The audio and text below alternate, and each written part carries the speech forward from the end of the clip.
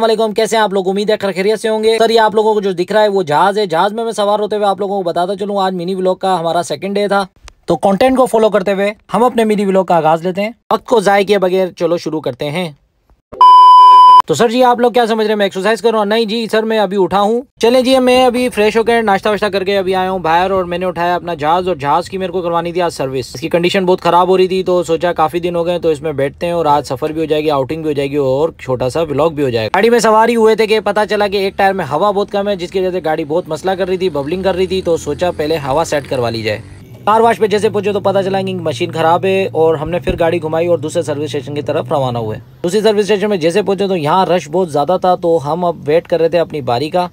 तो फाइनली हमारी गाड़ी सर्विस होकर आ गई थी लेकिन अभी इसको खुश कपड़ा लगना बाकी था। चलें जी हमारी गाड़ी रेडी हो चुकी है। लेकिन आपके भाई की हालत बहुत ख़राब हो गई क्योंकि भाई गर्मी बहुत थी। हमने दिन में आगे बहुत बड़ी गलती कर दी थी। तुझे मैं अपनी वीडियो में डाल दूँगा। आईफोन हँसी मज़ाक चल रहा था सर्विस स्टेशन में मैं फारिग हो चुका था। ये भाई आए, बोले, हम आपकी गाड़ी के साथ तस्वीर खिंचवाना चाहते हैं, हमें ये गाड़ी बहुत पसंद आई। मैंने बोला, कोई इशू नहीं, तस्वीर वगैरह बनवाने के बाद हम सीधे आए अपने घर की तरफ़। घर पहुँचते फ्रेश हुए और सुकून का सांस लिया। इन फालतू कामों की वजह से मेरी असर की नमाज़ निकल चुकी थी और मजीद टाइम को जाया ना करते हुए असर की नमाज़ घर पर ही अदा की।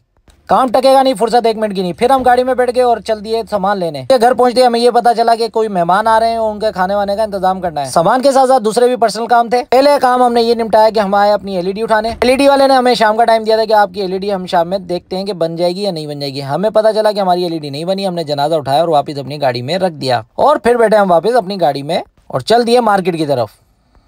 मार्केट पहुँचने के बाद पता चला कि इधर तो रश बहुत ज़्यादा है तो रश हमने गाड़ी वगैरह साइड में लगाई और सामान वगैरह के लिए उतरे। सामान वगैरह हमने लोड कर लिया था गाड़ी में और मजीद हमें जाना था फ़ूड स्ट्रीट की तरफ़। ये हमारे शहर की फ़ूड स्ट्रीट है। फ़ूड स्ट्रीट जहाँ आपको सब कुछ मिलता है खाने पीने के हवाले से। खाना पीना तो बन रहा था सब कुछ घर पर। यहाँ से लेनी थी हमें रोटियाँ। एक बार फिर उतरे हम अपनी गाड़ी से। फ़ूड स्ट्रीट आने का सिर्फ़ मकसद ये था कि हमें सिर्फ़ उठाने थे इधर से कुलचे।